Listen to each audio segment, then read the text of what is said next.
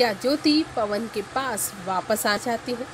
जी हाँ अगर इन दिनों आप ज्योति के इंस्टा को फॉलो करते हैं तो आपको ऐसा ही लगेगा। अगर आप उनके इंस्टा के स्टेटस को देखेंगे तो आप चौंक जाएँगे।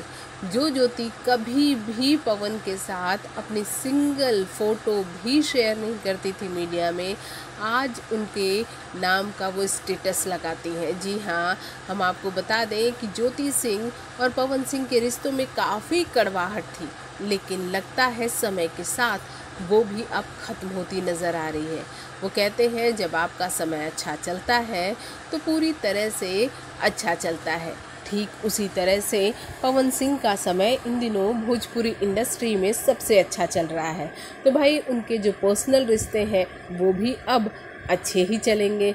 जी हाँ जबकि हम आपको बता दें कि पवन सिंह ने ज्योति सिंह के साथ बहुत बार अपने रिश्ते को अच्छे करने की कोशिश की, लेकिन ये हो नहीं पा रहा था। पवन ने फिर थक हार कर ज्योति को उनके हाल पर ही छोड़ दिया।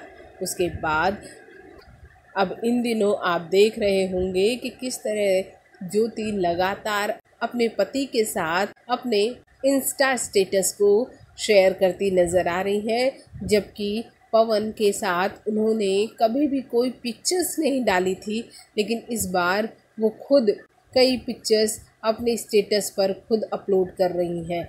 लगता है इन दोनों के बीच सारी गलत फहमियाँ अब दूर हो रही हैं। हम भी भगवान से यही उम्मीद करेंगे कि जल्द से ये एक हो जाए और अपने फैंस को ढेर सारी खुशियों वाला पैगाम दे। भोजपुरी जगत की हॉट और मसालेदार गॉसिप के लिए हमें सब्सक्राइब करना बिल्कुल ना भूलें।